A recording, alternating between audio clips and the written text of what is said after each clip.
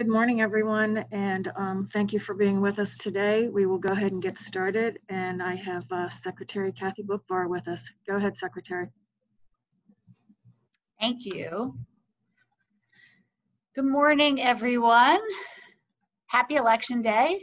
I can't help but think today of the suffragists who exactly 100 years and one day ago flocked to the polls to eagerly cast their very first ballot in the November 2nd, 1920 presidential election.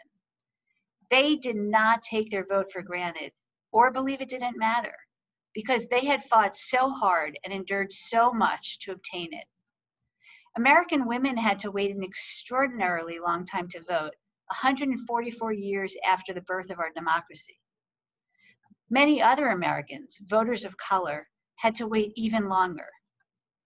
Last year, I was incredibly honored to join 17 of my National Association of Secretary of State colleagues on a journey to Selma, Birmingham, and Montgomery, Alabama, to share, witness, and try to absorb the historical moments and landmarks that epitomize the devastating struggles and inspiring achievements of the voting rights movement.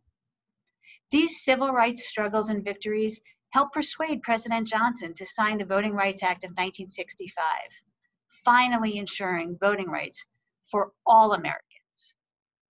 Thanks to the giants of the suffragist and civil rights movements, we in this nation have been granted the opportunity and the responsibility to make a difference in this world and to leave it a better place.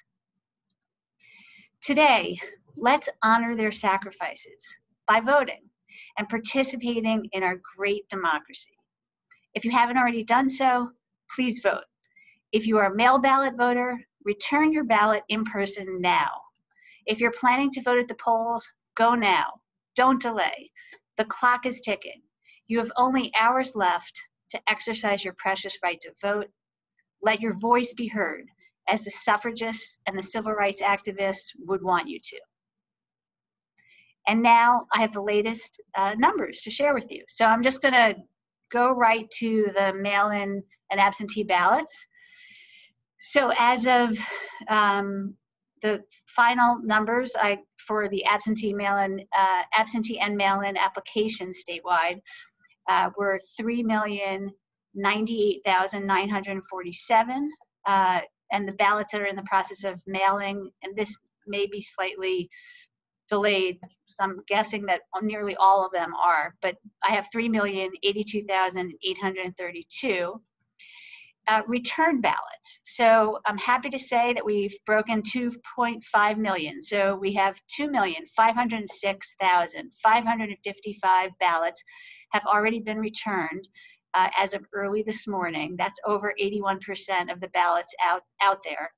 Of that 2.5 million, 1,641,826 are Democratic voters.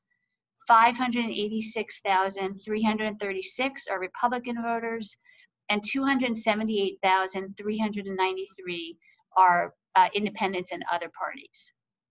And again, for those of you who haven't heard me say this before, just for historic context, so we're going to end up somewhere probably in the realm of 2.6 million, which is literally 10 times as many ballots as were cast by mail in 2016. So in 2016, we had 266,208 civilian absentee ballot ca ballots cast. In 2012, it was 248,561. Polls, as we all know, are open and safe. Pennsylvanians been, began voting at the polls at 7 a.m. this morning. Uh, I heard this morning uh, that some people were even lining up shortly after 6 a.m. So the engagement was high from early this morning, which is great. The polls will remain open until 8 p.m. tonight. If a voter is in line at 8 p.m., they can vote. Doesn't matter how long that line is, as long as they're in line by 8 p.m., they should stay there and they'll be able to vote. As you all know, we expect very healthy turnout given the intense interest in this election, uh, and especially in Pennsylvania's critical role in it. Voters can find their polling place at votespa.com. They should wear a mask to protect themselves, their families, and other voters, and practice social distancing at the polls. Department of State, in partnership with PEMA, has provided counties with masks, gloves, hand sanitizer, disinfectant spray, sneeze guards, uh, tape to mark social distance. The polling places will be safe for all Pennsylvanians. There's only uh, some hours left to return your mail ballot. So, as we've been saying all along, anyone who has not returned their mail ballot should do so now. You should hand deliver, do not put it in the mail. Hand deliver your mail ballot to your county election office, satellite election office, or other designated drop off location or drop box. I urge everybody not to wait until close to the 8 p.m. deadline. Some drop boxes and satellite offices will not be open till 8. So you should absolutely go onto votespa.com or onto your county election website to check the hours of the drop boxes and satellite locations in your county.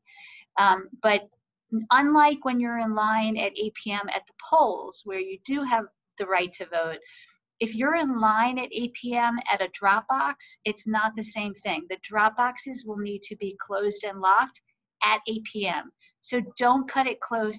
If you're voting by mail, drop it off early, early, early.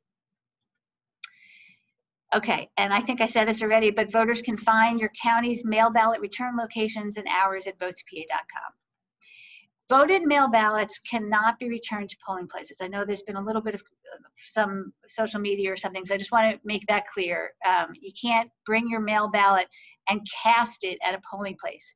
Of course, what you can do is you can um, surrender your mail ballot and vote by regular by regular voting system. But if you're looking to cast your ballot, you can only do it on those designated locations by the counties. As we've been saying, voters need to make sure that they are not returning a naked ballot. Uh, ballots need to be sealed inside the inner white secrecy envelope, and then that inner white secrecy envelope in the outer declaration envelope that's pre-addressed to the county, uh, and that the voter must sign that declaration on the outside.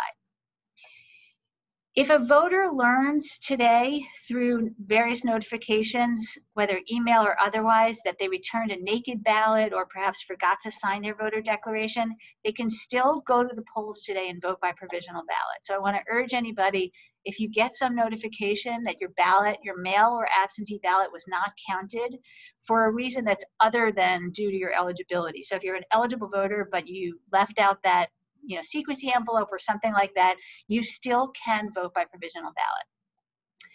I want to remind all voters also, whether you're voting by mail or you're voting in person at a hand-marked uh, paper ballot county, that some ballots are two-sided. So remember to vote both sides of your ballot. And uh, just a reminder back to mail voting that under Pennsylvania law, voters have to return their own ballots. The, that, so you can't return a ballot for your spouse or your friend.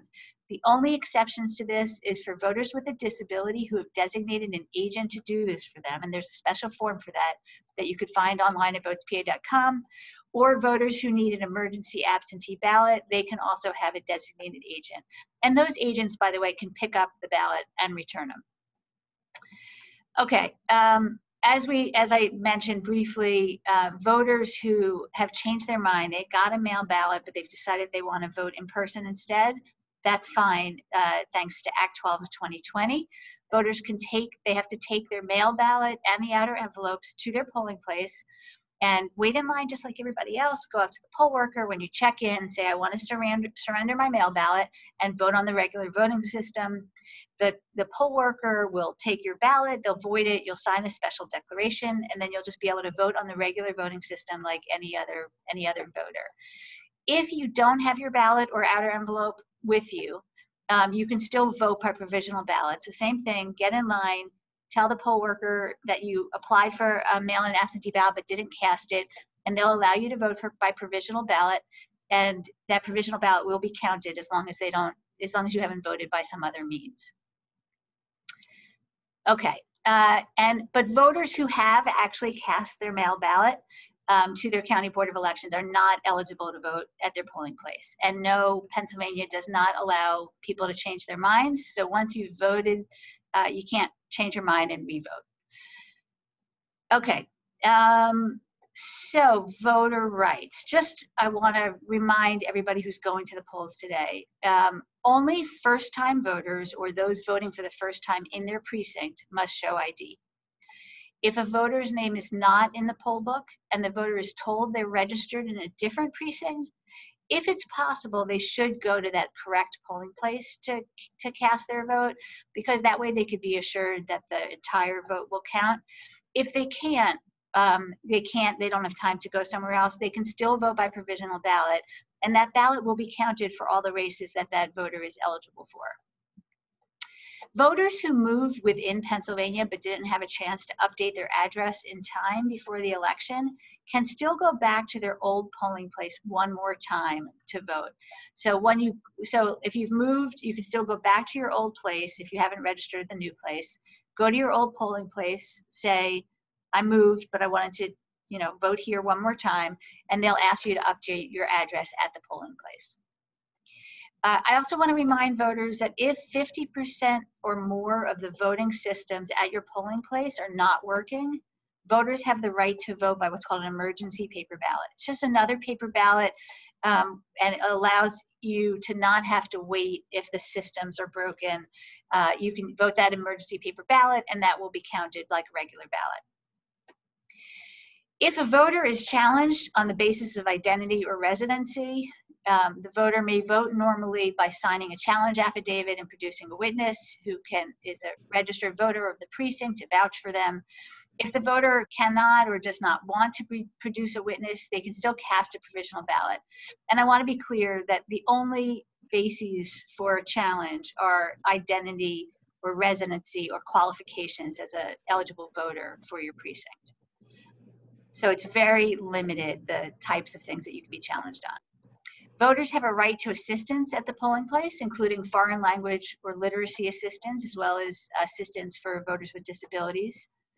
Um, also, a voter who experiences intimidation, harassment, or discrimination should report it to the County Board of Elections, the local district attorney's office, and should also call the toll-free number of the Department of State, 877 VOTES PA, uh, and you can also call the U.S. Department of Justice's voting section at 800 253 3931. Election returns. So, as you've all heard, we've refreshed the Department of State's display of election returns data at electionreturns.pa.gov, including an update of uh, that itemizes votes cast by in person voting at the precincts, mail in and absentee voting, and provisional ballots. We also created a supplemental dashboard to show the progress of ballots cast that have not yet been counted. This is broken down by county. A demo of that new dashboard is available on votespa.com, and that will be updated throughout the night. So, and day. So the, we will collaborate with county election offices to post results as soon as they're available, obviously after the polls close. Um, and that will inc also include the itemized results as I talked about. Um, and the dashboard, again, will show you not only what's been counted, but it will also show you what remains to be counted. So you could track that for the entire canvassing period. Um, the let's see, provisional ballots won't be started until later. So as soon as, so don't be surprised if on the provisional ballot page you see zeros because they're gonna get through the other ones first. Okay, um, so also just a reminder, I think we all have heard me say this a lot of times, but races are never finished. Uh, election, you know, vote, uh, vote counting is never finished, ever finished on election day. Um, and if we stop counting ballots on election day, we will be disenfranchising all the men and women who serve our country, all the military and civilian overseas voters whose ballots by law must be accepted up until seven days after the election. I know that none of us want to disenfranchise all the military overseas voters, as well as the millions of other Pennsylvania voters who have exercised their fundamental right to vote. So we we are the only ones who can actually declare a uh, result of an election or an election count being over. Um, so, you know, patience, everybody should have patience. We, while we expect the overwhelming majority of Pennsylvania ballots to be counted within a few days, our first priority and our county's first priority is to accurately and securely count every legal ballot cast. And then to count them as quickly as humanly possible. You've heard me talk about this before. Many counties are going to be counting 24 7 to get this done as quickly as humanly possible. And, you know, their dedication and commitment to this is just outstanding. Okay, we'll be holding press conferences at 9 p.m. and 11 p.m. tonight at the Farm Show Complex. We sent out media advisories on this press conference on these press conferences last night and this morning. Please check the advisory for details and RSVP information. And I hope to see you there later. And I last want to take this moment once again to tremendously thank all our election personnel from all around the state from county election directors to poll workers, from boards of election to those canvassing our mail ballots. Uh, they are all, every one of them, heroes. Without them, we would have no democracy. We would not have the ability to exercise our fundamental right to vote. So please, today, take a moment, thank a poll worker, thank an election worker, make sure that they know how much all of us appreciate all they do to ensure that we can exercise our right and express our voice in this great democracy we have. Thank you, and now I'm happy to take your questions. Thank you, Secretary. Um, a couple of reminders. We ask that each reporter limit themselves to one question in fairness to all the others who are waiting to ask questions. Also, if you indicated on your RSVP that you'd like to be called on for a question, your screen name needs to indicate who you are, uh, first and last name. If, if you don't have your name on, on up as a screen name, you probably won't be called on. Uh, we're going to start with Mike Rubinkam from the AP, and then we'll go to Mark Niquette from Bloomberg. Go ahead, Mike. Uh, Secretary, the Trump campaign and Republicans in general are making a number of allegations about voting in Philadelphia, uh, including that Trump poll watchers are being blocked from polling places, uh, poll, poll, watchers are being kept far away from counting tables, uh, and Democrats electioneering inside polling places. Um, have you gotten any of these reports and, and have you investigated any of them and, and found them to be either accurate or inaccurate? Thank you. Sure. I have not gotten any of those reports. But now I will make sure that we follow up with Philadelphia and others to make sure that we have the updated information. But that's the first that I'm hearing of that. I haven't heard it, and I should be clear. Like I haven't heard from voters. I haven't heard it from uh, from anyone. So um, we will check in on that, and I'll report back later. Thank you, Secretary. We'll go to Mark Niquette from Bloomberg News. And, um, next up will be uh, Christine Vendel from Penn Live. Uh, go ahead, Mark. Hi, Secretary. With the 20% or so um, uh, applications that have not been returned, is there any way to suss out, you know, how many of those might be you know, voters who are going to show up at the polls and surrender their ballot to, to cast a regular one or vote provisionally uh, versus ballots that might still be arriving by mail or just aren't going to be cast? Sure. I mean, you know, of course, we can't get in the head of everybody, but what I will tell you is, and actually, I'm glad you brought it up because I think the percentages are are misleading in some ways when you're not aware of ha- what the usual is right so we looked actually before the primary we looked back historically at prior elections and we saw that um, historically about 70 to 80 percent of the ballots that were mailed to voters were cast by voters. So that's the normal in regular years. And that and i think um, in the primary it ended up being somewhere maybe just short of 80% and actually it was it was around 80% in the primary even with that week extension of mail delays you know for the counties that had been experiencing civil unrest. So even with that extra week it ended up somewhere right around 80% or just short of that. So we've already exceeded that. We've already exceeded the average, and we still have all day today because the, the, the numbers that I gave you were from very early this morning. So I think we've already received higher than the average number of based on those percentages of what we would expect to be cast by mail, which is great. However, um, I do think there's probably a fair number of voters who requested their ballot just in case, you know, to protect that option, but will show up in person. So um, we're very pleased. I think, you know, we'll, we'll obviously have uh, updated numbers after the deadline closes. Um, and then, of course, there's the late arriving ballots as well. But just as of this morning, we're in a very good, a very good percentage of the voters have already returned them. All right, we have Christine Vendel from Penn Live, and next up will be Bill Kibler from the Altoona Mirror. Go ahead, Christine.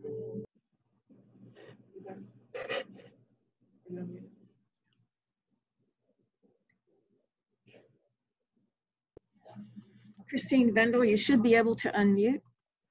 Sorry, I was talking to myself there for a little bit. Uh, Thank you. Hey, I was wondering if you could give us a rundown of problems that have been reported. I understand there's that hotline, and is there a way to break down for us what you've been hearing? Because we do see some things on social media, like there was somebody said there were problems in Luzerne County or problems with machines, but what are you hearing? Uh, Deputy Secretary Marks, are you unmuted? Yeah, can you hear me okay? Yeah, do you want to just give a brief uh, Sure, overview I'll- of any? Yeah, I'll- I'll try to give an overview. We, we, um, the, the biggest issue we've heard uh, seems to be a, a fairly typical one where you have polling places that open late for one reason or another. Um, uh, poll workers having trouble getting the voting systems up and running. Um, a, a lot of times it is just the poll workers arriving late at the polling place. Um, we did hear, uh, you mentioned Luzerne County, we did hear of some um, uh, voting system issues in one precinct in, in Luzerne County. Um, but the majority of our, our issues so far today seem to be um, polling places that didn't open late or polling places that got off to a slow start um, because of uh, some technical issues or some confusion from uh, the poll workers. Uh, we've also gotten some complaints about political signs being uh, perhaps closer to the entrance of the room where voting occurs than they're supposed to be. Uh, I did want to, and I apologize, Secretary. I did want to. We did get one report uh, so far through social media of a poll watcher um, who was allegedly prevented from entering a polling place in Philadelphia. Uh, we reached out to the county, and we understand that the county was getting in contact with the polling place uh, to confirm and to um, to verify that poll watcher's credentials. Thank you. Thank you. We're going to go to Bill Kibler from the Altoona Mirror, and on deck will be Alana Abramson from Time Magazine. Go ahead, Bill. Thank you. Um, Can you talk about the possible consequences if Supreme Court rules that mail-in ballots arriving at PM today valid, and the possibility that that, that might affect overseas and military ballots that uh, aren't due until a week after the election? So you cut out a little bit, so I just want to make sure. So your question is how, how the, if this, can you ask your question again? Sure. Um, Can you hear me now? Yeah, it's just break, it's just choppy. Can you talk about the possible consequences should the U.S. Supreme Court take up the matter of the uh, three-day grace period and rule that mail-in ballots that arrive after 8 p.m. today are invalid?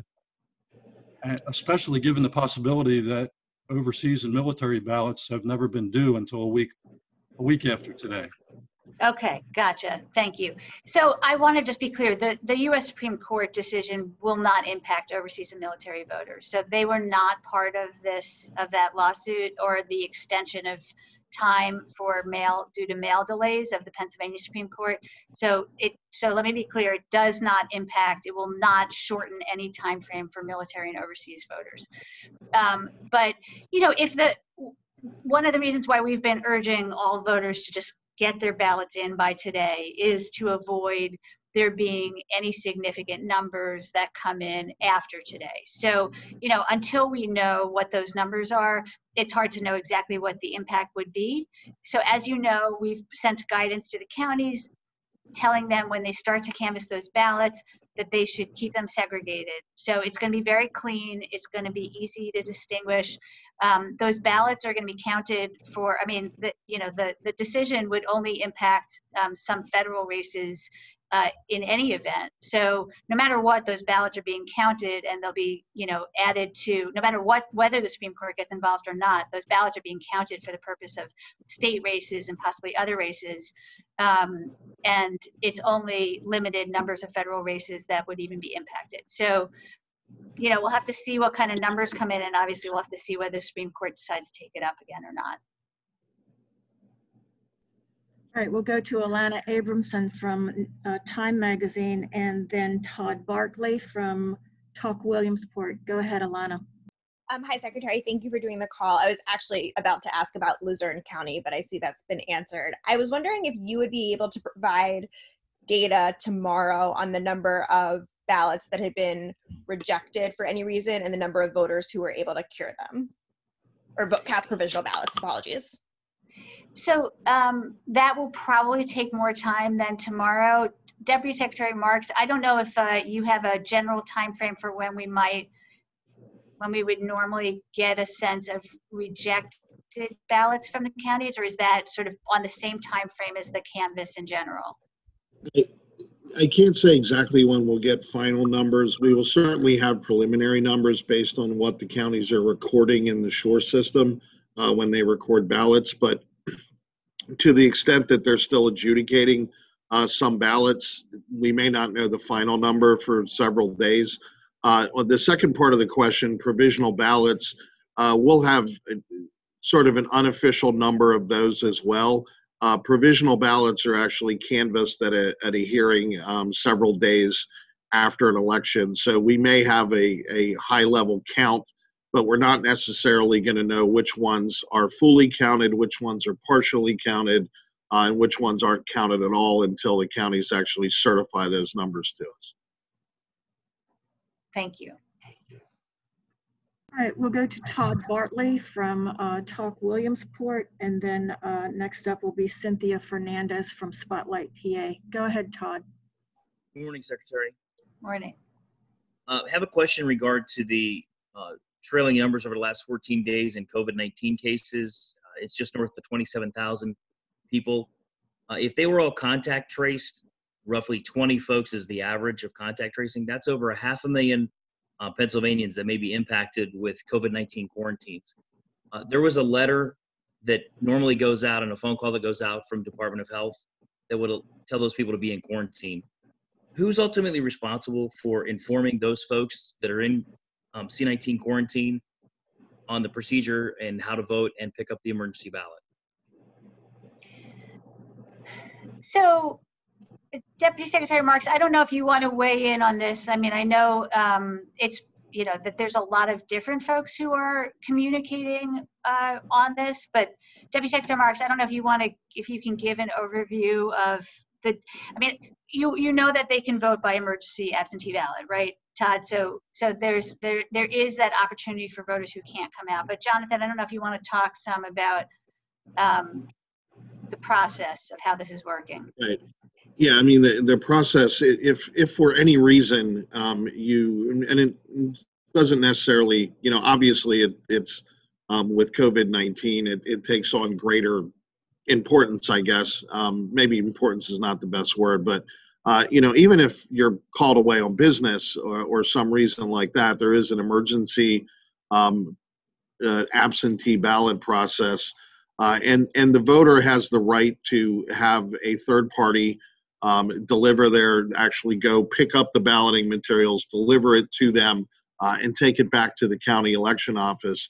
Uh, and if the voter cannot find somebody uh, to do that, then the county is obligated to provide, um, you know, either someone from the sheriff's office or some other county official uh, that can go out and, and deliver the balloting materials to the voter and bring them back to the to the county election office. Um, so, I mean, that's that's the process in a nutshell. Thank you.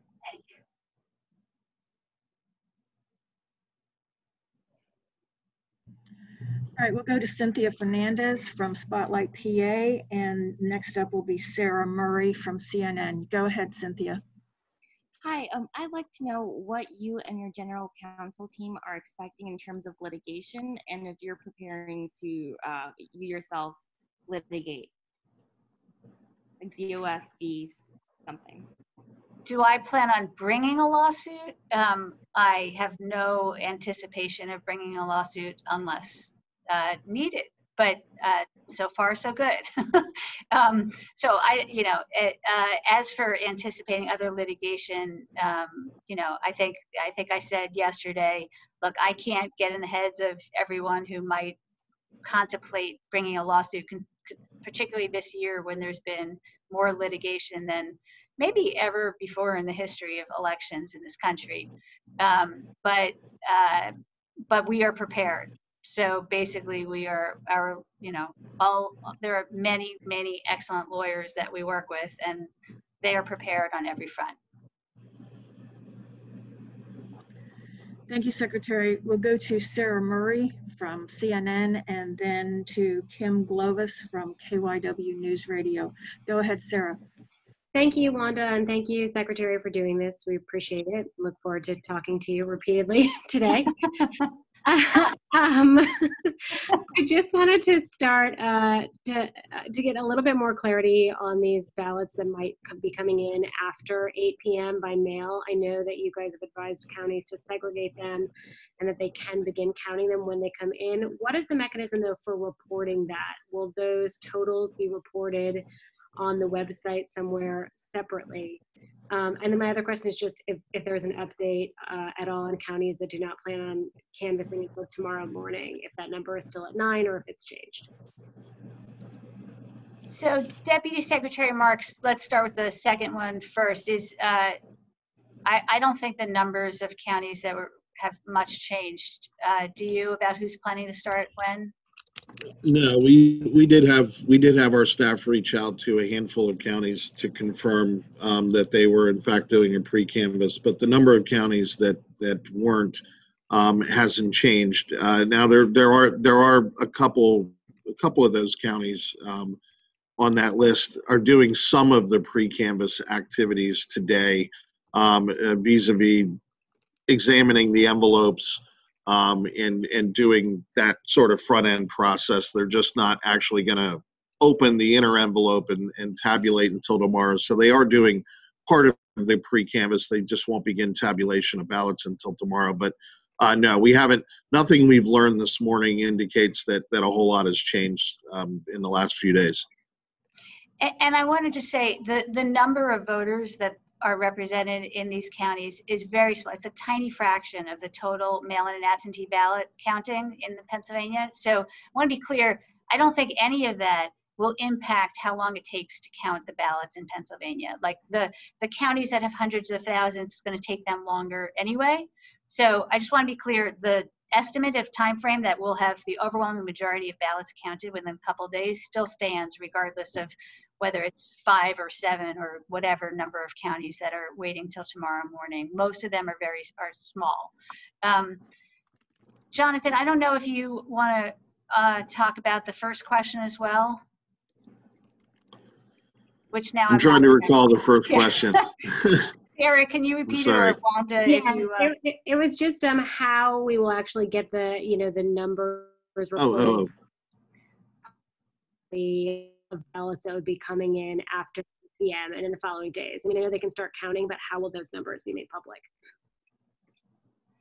do you want to talk a little bit about the guidance, Jonathan? And I mean, they're going to be Yeah. segregated, right? I mean, so it's it's going to all be trackable because they'll be segregated. Jonathan, I don't know if you want to add anything to that. Yeah, I, I mean, I don't, I don't, um, you know, we'll, we'll be able to report totals by group.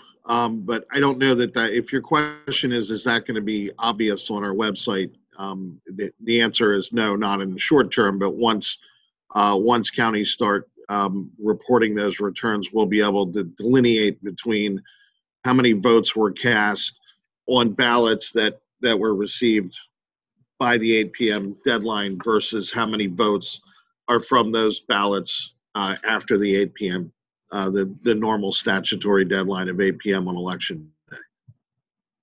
Thank you. All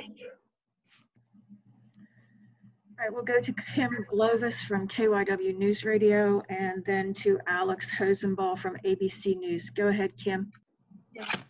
Good morning, Secretary. Um, uh, my question is, uh, what is and what isn't voter intimidation outside of polling place? And uh, if you could uh, clarify on the the 10 foot rule.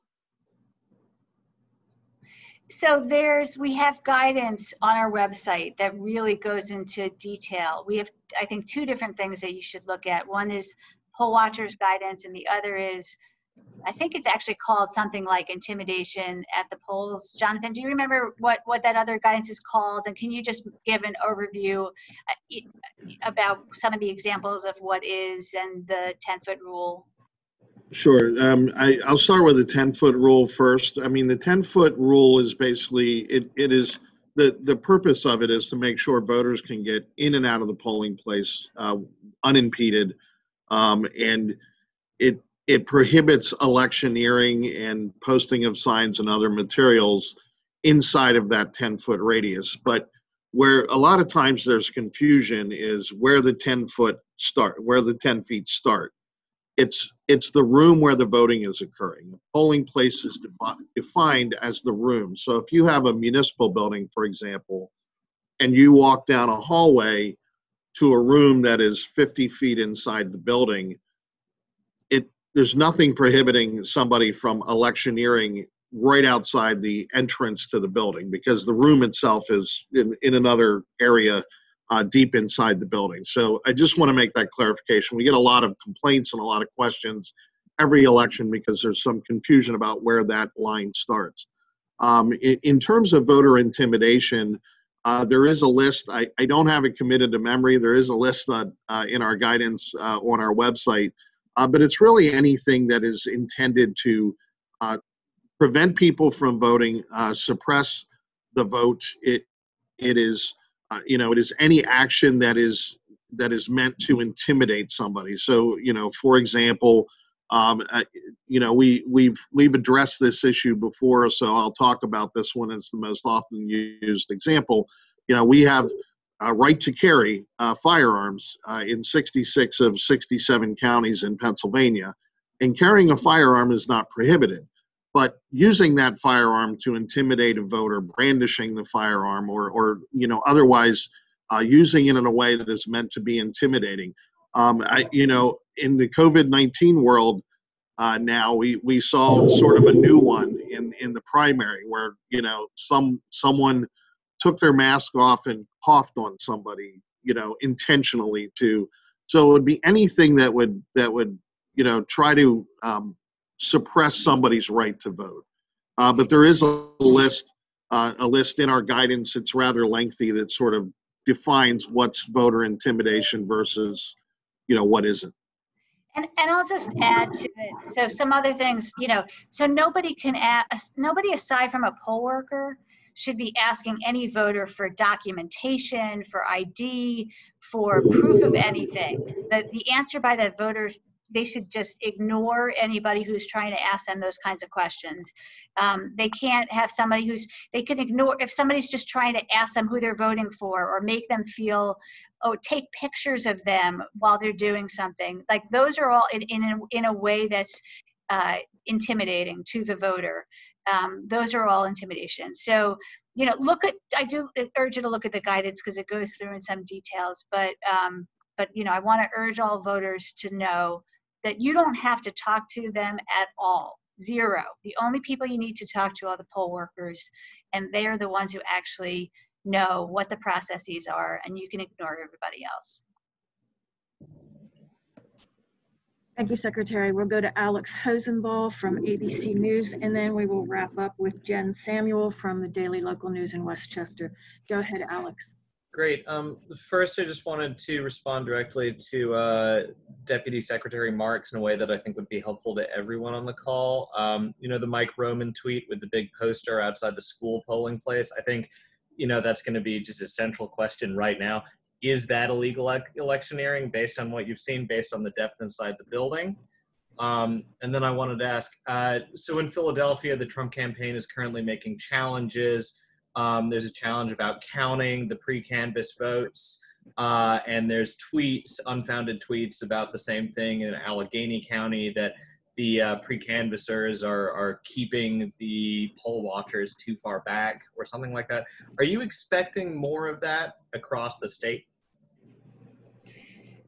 So I'm going to defer to Jonathan some on the specific questions, but um, but there there you can't. You're talking about challenging mail-in absentee votes because that that ship has sailed. So nobody, no authorized representatives can be challenging mail-in or absentee ballots during the pre-canvass or canvass at all. There's not there's no provision in Pennsylvania law for that. Um, they can challenge voters at the polling place, and they could, of course, bring a lawsuit. As we know, uh, not having any merit has never stopped uh, most people from, or some people, I should say, uh, doesn't seem to stop many people from bringing lawsuits. But there's no statutory provision for authorized representatives to bring challenges during pre-canvassing. Um, Jonathan, I don't know if you're uh, familiar with the exact details of the other Yeah, questions. you're, you're talking about the Mike Roman tweet. Um, I, I did see that, uh, and, and it's a picture of a, of a sample ballot posted by, uh, you know, a political party with their slate of candidates. Uh, and it's on the wall of the building. Uh, we did contact the Philadelphia uh, County Election Office.